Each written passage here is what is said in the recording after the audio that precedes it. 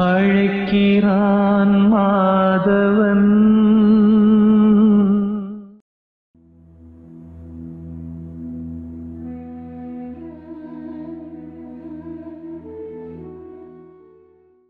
குருவே சரணம் வாழ்க வளமுடன். டுடே கிளாஸ் வந்து எக்ஸலண்ட்னு சொல்கிறதுக்கு வார்த்தைகளே கிடையாது. என்னோட கண்ணீரை என்னாலே கண்ட்ரோல் பண்ண முடியல. எல்லாருக்கிட்டையும் அழுகிறேன் நீங்கள் கேட்டீங்க எல்லாருக்கிட்டே என்ன சொல்ல ஆசைப்படுறீங்கன்னு அப்படின்னு கேட்டீங்கன்னு நான் போது எல்லாருக்கிட்டையும் தயவு செய்து எல்லாரும் அன்பா இருங்க கருணையாக இருங்க தயவு செய்து தானம் பண்ணுங்க அப்படின்ற மாதிரி நான் கத்தி கத்தி எல்லாருக்கிட்டையும் சொல்கிற மாதிரி நான் ஃபீல் பண்ணேன்னா ரொம்ப அமைதியாக ஆனந்தமாக இருக்கணும் கோடான கோடி நன்றி அண்ணா எல்லோருக்கும் வணக்கம்.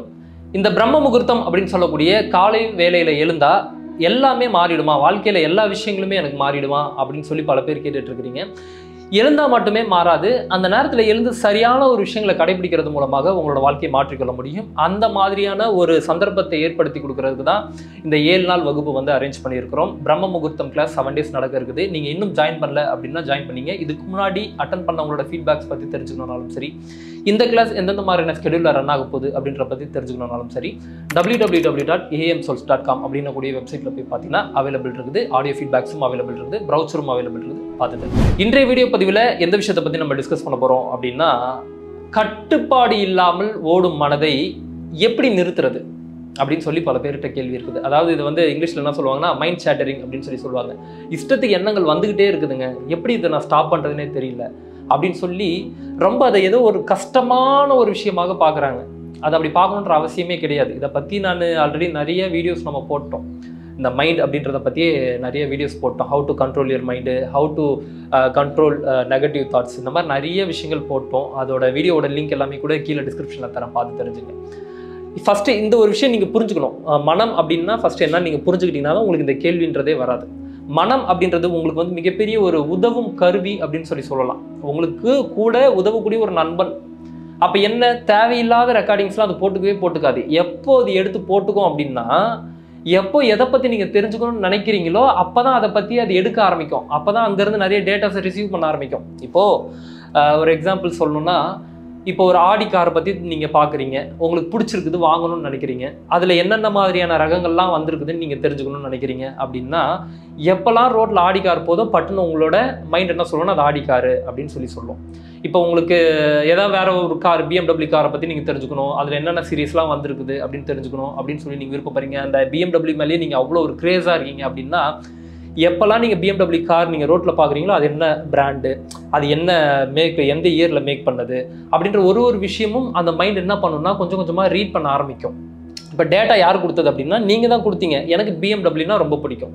எனக்கு ஆடினா ரொம்ப பிடிக்கும். அப்படின்னு சொல்லி நீங்கள் கொடுத்த டேட்டாவுக்கு அந்த மைண்ட் வேலை பார்க்குது. இப்போது எக்ஸாம்பிள் சொல்லணும்னா நீங்கள் நல்லா கவனிச்சு பாருங்கள் உங்களுக்கு எந்த மாதிரியான எண்ணங்கள் வரும் அப்படின்னா நீங்கள் எது எதெல்லாம் பார்த்துருக்கீங்களோ அதுக்கு தகுந்தாற் போலான எண்ணம் தான் உங்களுக்கு கொடுக்கும். சம்மந்தமே இல்லாத எண்ணங்களும் கொடுக்காது. இப்போ நீங்கள் வந்து செவ்வாய் கிரகத்தில் வாழ்ந்துட்டு இருந்தீங்கன்னா எப்படி இருக்கும் அப்படின்னு சொல்லி என்றைக்காவது உங்களுக்கு வந்து ஒரு எண்ணம் வந்திருக்கா? இப்போ செவ்வாய் கிரகத்தில் இது நடந்துட்டு இருக்குதுங்க நான் அதுக்குள்ளே நடந்து போயிட்டு இருக்கிறேங்க சுற்றி எல்லாமே இப்படிப்பட்ட மிருகங்கள்லாம் வருதுங்க அப்படின்னு சொல்லி என்னைக்காவது உங்களுக்கு ஒரு எண்ணம் வந்திருக்கா? ஏன் வரல அப்படின்னா அந்த மாதிரியான ஒரு விஷயங்கள் நீங்கள் கற்பனை பண்ணியும் பார்த்தது கிடையாது. அந்த மாதிரியான ஒரு விஷயங்களை நீங்கள் ரியாலிட்டிலையும் பார்த்தது கிடையாது. அப்படின்னும் போது மனம் அதை பற்றின எண்ணங்களை எழுப்பவே எழுப்பாது. எப்போ ஒரு விஷயத்தை நீங்கள் கண்ணால் பார்க்குறீங்களோ இந்த ஐந்து புலன்களாக நம்ம எடுத்துக்கிறோமோ அது ரிலேட்டடாக தான் மனம் அதை திங்க் பண்ண ஆரம்பிக்கும். அப்போ பிரச்சனை என்னன்னா நீங்கள் பார்க்கக்கூடிய ஒரு விஷயமா இருக்கட்டும் கேட்கக்கூடிய ஒரு விஷயமா இருக்கட்டும் நீங்கள் சுவைக்கக்கூடிய ஒரு விஷயமா இருக்கட்டும் எல்லாம் இந்த ஐந்து புலன்கள் வழியாக நீங்கள் என்னென்ன வந்து நீங்கள் எடுத்துக்கிறீங்களோ அதுதான் அங்கே மனதோட ஓட்டமாகவே இருக்குது. அப்போ இந்த மனதோட ஓட்டம் தான் இன்னைக்கு பிரச்சனையா அப்படின்னா ஆமாம் மனதோட ஓட்டம் தான் பிரச்சனை. ஏன் பிரச்சனைனா இஷ்டத்துக்கு ஓட விட்றீங்க அதுதான் பிரச்சனை. அப்படி நீங்கள் நல்லபடியாக ஓடுது பிரச்சனை இல்லாமல் உங்களுக்கு குறைந்த எண்ணங்களாக இருக்குது எது எது வேணுமோ அது அதுக்கு மட்டும் செயல்படுது அப்படின்னா பிரச்சனையே கிடையாது. இப்போ ஒரு எக்ஸாம்பிள் சொல்லணும்னா கிட்டத்தட்ட ஒரு அறுபதாயிரம் டு எழுபத்தி ரெண்டாயிரம் எண்ணங்கள் சொல்கிறாங்க அந்த அறுபதாயிரம் டு எழுபத்தி ரெண்டாயிரம் எண்ணங்களாக நம்ம டெய்லி வந்து செயல்படுத்திட்டு இருக்கிறோம்? கிடையாது. அப்போ எந்த எண்ணங்கள் வேண்டாமோ அந்த எண்ணங்களுக்கு நீங்கள் எக்ஸிட் பண்ண தெரியணும். அது வேண்டாம் அப்படின்னு சொல்லி உங்களுக்கு விட தெரியணும். அது திரும்ப திரும்ப திரும்ப திரும்ப அது எடுத்துக்கிட்டே இருக்கு அப்படின்னா அதுக்கு சரியான பதிலை கொடுக்கலன்னு அர்த்தம். இப்போ ஒரு எக்ஸாம்பிள் சொல்கிறேன் இப்போ நீங்கள் படுத்த பாய் ஒன்று இருக்குது அந்த படுத்த பாயை வந்து நீங்கள் போகும்போது வரும்போது பார்த்துக்கிட்டே போயிட்டு வந்துக்கிட்டே இருக்கிறீங்க. அதை எடுத்து வைக்கணும்னு நினைக்கிறீங்க. சரி அடுத்து போயிட்டு வரும்போது எடுத்து வைக்கலாம் அப்படின்னு சொல்லி உங்களுக்கு தோணும். வரும்போது எடுத்து வைக்க மாட்டீங்க. சரி திரும்ப போகும்போது எடுத்து வச்சுக்கலாம் அப்படின்னு சொல்லி திரும்ப விட்டுருவீங்க. திரும்ப போவீங்க எடுக்க மாட்டீங்க. திரும்ப வருவீங்க திரும்ப மனம் சொல்லும் அதை எடுத்து வை அப்படின்னு சொல்லி சொல்லும் அப்பயும் நீங்கள் பண்ண மாட்டீங்க. திரும்ப போவீங்க. திரும்ப போகும்போது எடுத்துக்கலாம் அப்படின்னுவீங்க. திரும்ப போவீங்க திரும்ப எடுத்து வைக்க மாட்டீங்க. இப்படி போகும்போது வரும்போது போகும்போது வரும்போதெல்லாம் உங்கள் மைண்டில் ஆல்ரெடி ரிஜிஸ்டர் ஆயிடுச்சு. என்னன்னா அந்த பாயை எடுத்து வைக்கணுன்றது நீங்கள் ப்ரோக்ராம் அதுக்கிட்ட சொல்லிட்டீங்க. அதனால் அது என்ன பண்ணுதுன்னா அந்த பாயை பார்க்கும்போது எடுத்து வை எடுத்து வை எடுத்து வை எடுத்து வைன்னு அது உங்களுக்கு வந்து சொல்லிக்கிட்டே இருக்குது. உங்களுக்கு தூண்டி விட்டுக்கிட்டே இருக்குது. இதை நீ பண்ணணும்னு நினச்சி வச்சிருக்கிறது பண்ணு அப்படின்னு சொல்லி சொல்லுது. அப்போ என்ன நான் அப்புறம் பண்ணுறேன் அப்புறம் பண்ணுறேன் அப்புறம் பண்ணுறேன் நீங்கள் தள்ளி போட போட போட போட அது சும்மா உங்களை தொந்தரவு பண்ணிக்கிட்டே தான் இருக்கும். எப்போ அதுக்கான ஒரு சரியான ஒரு விஷயத்தை நீங்கள் கொடுத்துட்டீங்களோ இப்போ நான் பண்ணணும்னு நினச்சேன் பண்ணிட்டேன் அப்படின்னா அதுக்கப்புறம் அதை பற்றி அது திங்கே பண்ணாது. ஏன்னா நீங்கள் எந்த ஒரு ப்ரோக்ராம் கொடுத்தீங்களோ அந்த ப்ரோக்ராம் எக்ஸிக்யூட் ஆயிடுச்சுன்னா அது ஃப்ரீயாக விட்டுரும். அதுக்காக நான் நினச்ச எல்லா விஷயத்தையும் எப்படிங்க எக்ஸிக்யூட் பண்ணுறது அப்படின்னா எக்ஸிக்யூட் பண்ணணுன்ற அவசியம் கிடையாது. இப்போ இன்றைக்கி ஒருத்தர் போய் மீட் பண்ணணும்னு நினைக்கிறோம். அப்போ என்ன சொல்லணும்? ஒரு பத்து மணி போல் மீட் பண்ணணும். நம்ம வந்து மனசில் நினச்சி வச்சுருக்கோம் அப்படின்னா பிளான் பண்ணி வச்சுருக்கோம் அப்படின்னா மனம் என்ன பண்ணணும்னா கரெக்டாக இந்த பத்து மணிக்கு இவங்களை போய் மீட் பண்ணணும். எப்படி போய் பார்க்க போகிறேன் இந்த ட்ரெஸ் போடு அந்த ட்ரெஸ் போடு. அவங்ககிட்ட என்ன பேசணும்? எதில் போய் பார்க்க போகிறோம் ஃபஸ்ட்டு அவங்ககிட்ட பேசும்போது எந்த மாதிரி பேசணும்? இப்படின்னு சொல்லி எல்லாத்தையுமே அது திங்க் பண்ணும். இப்போ அந்த மீட்டிங் கேன்சல் ஆயிடுச்சு அப்படின்னா அதுக்கு ஆட்டோமேட்டிக்காக அதுக்கு தெரியும். ஓகே இன்றைக்கி மீட்டிங் கேன்சல் அதை பற்றி உங்களுக்கு திங்கிங்கே இருக்காது. திரும்ப நாளைக்கு எப்போ அவங்க மீட்டிங் சொல்கிறாங்களோ அது அப்போ தான் அந்த திங்கிங் அதை பற்றி வரும். அப்போது இது கரெக்டான அதுக்கு பதில் கிடச்சிருச்சு அப்படின்னா அது ஃப்ரீ ஆகிடும் இப்போ அவங்க ஃபோனே பண்ணல. அவங்களுக்கு எந்த டீட்டெயில்ஸுமே உங்களுக்கு கொடுக்கல. மீட்டிங்கை பற்றி எந்த டீட்டெயில்ஸுமே கொடுக்கல. பத்து மணி வரைக்கும் நீங்கள் அப்படியே இருக்கிறீங்க அப்படின்னா எப்படி போய் மீட் பண்ணுறது எப்படி போய் மீட் பண்ணுறது எப்படி போய் மீட் பண்ணுறது என்ன நினைக்கிறது? என்ன சொல்கிறது அவங்கள எப்படி இம்ப்ரெஸ் பண்ணுறது இந்த மாதிரியான விஷயங்களை அது திரும்ப திரும்ப தூண்டிகிட்டே இருக்கும். இப்போ ஒரு பத்து மணிக்கு முன்னாடியே உங்களுக்கு ஒரு ஃபோன் கால் வந்து அந்த மைண்டுக்கு அந்த பதில் சொல்லிடுச்சு அப்படின்னா அது ஃப்ரீயாக விட்டுறது சிம்பிள் மேட்ரு தான். இப்போது மனம் அப்படின்ற ஒரு விஷயத்த வந்து நீங்கள் ரொம்ப தவறான ஒரு பெரிய ஒரு கருவியாகவோ இல்லை ஏதோ ஒரு விரோதியை கூட வச்சுருக்கிற மாதிரியோ நீங்கள் ஃபீல் பண்ணணுன்ற அவசியம் கிடையாது.